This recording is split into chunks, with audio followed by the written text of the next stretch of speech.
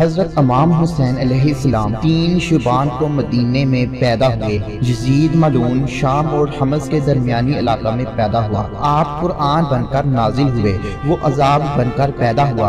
आप हसीनो ज़मीन, वो मोटा और बदनुमा। आपको पैदा होते ही रसूल के लाभ की गुट्टी मिली। उसके पैदा होते ही उसको शराब की गुट्टी मिली। आपके नाना हाशमी खानदान से, उसके नाना ईसाई खानदान से। आपका दादा हफाजत रसूल करने वाला। इस इसका दादा मुखालफत रसूल करने वाला, आप मदीना की इज़्ज़त बढ़ाने वाले, वो मदीना पे लश्कर कुशी करने वाला, आप मस्जिद नबवी में इबादत कराने वाले, वो मस्जिद के स्तूनों में घोड़े बांधने वाला, आप काबा को बचाने वाले, वो काबा के गिलाफ को जलाने वाला, आपकी दादी वो थी जिनकी कब्र में रसूल लेटे, जिनको हजूर के कुर्ते का कफन पहनाया गया, इसकी दादी ने हजूर के चर्चा का कलेजा चबाया था, आपका भाई मसनद इमामत का ताजदार बना, जन्नत के नौजवानों का सरदार तार कहलाया। इसका भाई जो शराब पीते पागल होके मर गया। आपका शजरा तैयबा है। इसका शजरा खबीसा है। आप रोजादार थे। वो फासिक था। आप नमाजी थे। वो फाजिर था।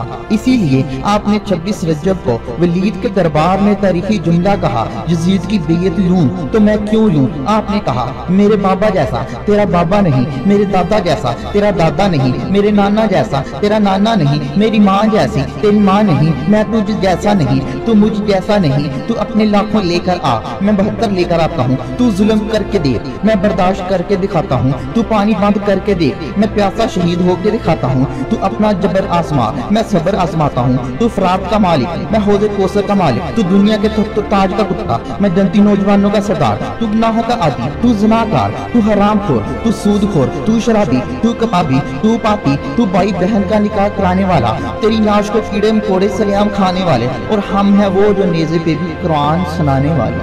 हद ही नहीं हुसैन, तेरे इंतकाम की। लफ्ज यजीद गाली से बदतर बना दिया।